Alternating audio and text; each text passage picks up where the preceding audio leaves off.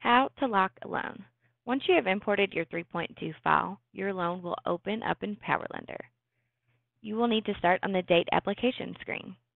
Under Processing Dates, you can enter the application date. If it is today's date, you can have a shortcut by selecting the letter T, and it will pre-fill today's date. If you know the estimated closing date, you can enter it there. Under Lender Contacts, you can enter your lender loan number. Select your branch, loan officer, and your lender processor. If you know who the underwriter, closer, and post-closer is, you can enter it here. The next screen you need to go to is the Enter Lock Request 1. Please verify your borrower data. If you have a co-borrower or a non-purchasing spouse, that information would go here. The next screen you need to go to is the Enter Lock Request 2. Verify your subject property.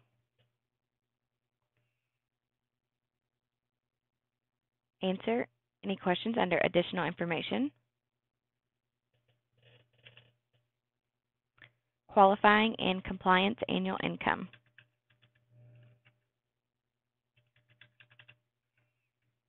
Underwriting type of AUS. Enter your ratios. And the borrower's credit score. The next screen you need to go to is the Enter Lock Request 3.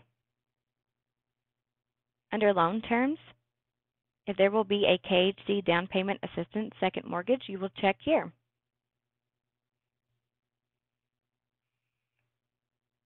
You can enter the amount of the second mortgage. If your borrower is a first-time homebuyer, select here. Under Locker Rate, this is where you will select the loan program. For this example, we will do FHA 30. Select the second mortgage. And if we are attaching a KHC homebuyer tax credit, you will select here. My light turned green. For any reason that your light is any color other than green, select Ineligible Denied Reasons. The next screen we need to go to is the KHC Income Calc. Fill that out and go to the MI Government screen. Once completed, you may go to the Complete Reservation. We are ready to submit lock request. If successful, a date will pre-fill here. You are ready to print your documents.